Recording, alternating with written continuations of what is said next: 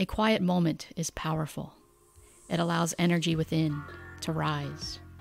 It beckons in the external shadow. Be still and breathe.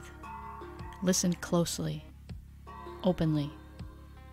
Intuition grasps the inner static, the limitless potential awakened, the shadow again light. The quiet moment is powerful, fully charged and inspired. Now, I move.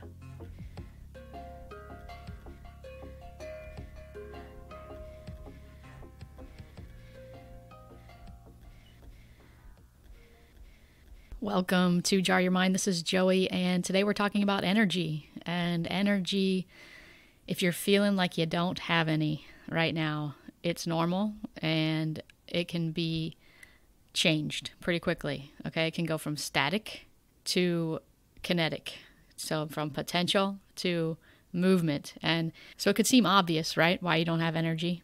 It could be mental, physical, emotional. You probably know but what can what can you do about it? Do you want more energy?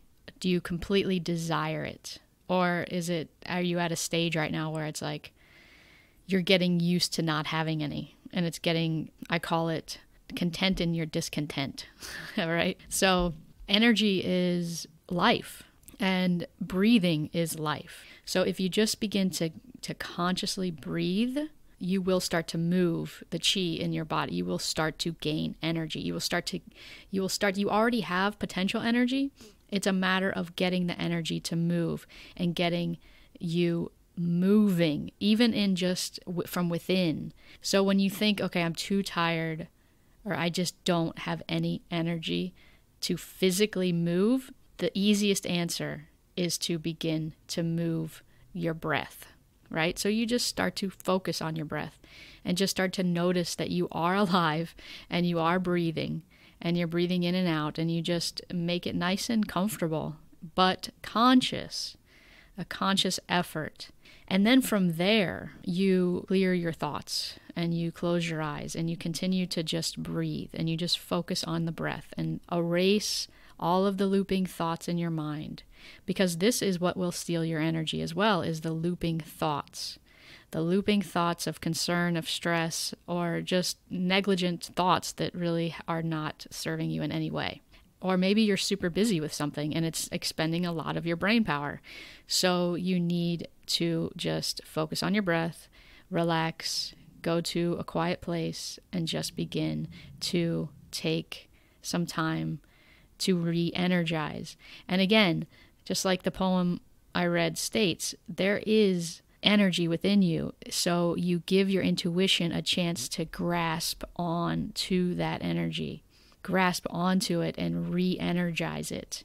And that is done through listening and being quiet and being still. Be still and know that I am God. Be still, be quiet, and just slow down and then once that happens, you will find the energy within to want to move. Having the energy from within you, not looking for it on the outside in your external world, but actually going within and tapping in to your power, which is alive, very much alive within you. It's just buried a little bit at times. You are energy, you are electric. So the idea is to go back in and claim that light that is within you.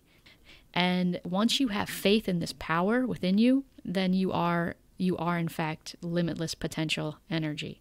So that's what jar your mind is all about is understanding that you have the power within you to shine your light in whatever way that makes sense to you.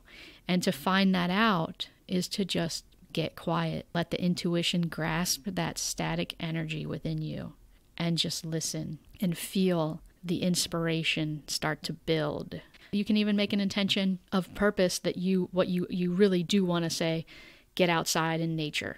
Okay, like you, it's something you want to do, but man, I just don't, I just can't seem to get myself up and out. So you can go in with the intention in your subconscious mind and actually say, okay, I'm going to visualize myself outside in nature and how good it feels. And then you attach feeling with it, right? Like it feels so good to be out in nature and you actually want to be yourself walking in nature. You are walking along that in that path wherever you want to be okay? And and you're like oh this feels good and you're feeling the sun in your face and you just visualize all of that and then just breathe breathe in that life and because nature does give us energy so even thinking about it in our imagination will start to build that energy that is already within you. We just got to make it active energy. So it is there. Go in.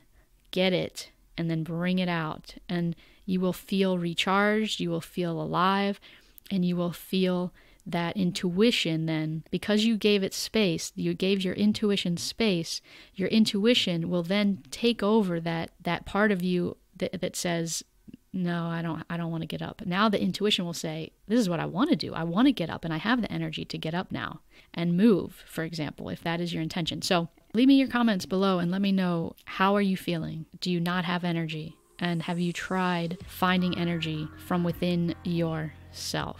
All right, everybody, thank you for being here, and I will see you in the next video.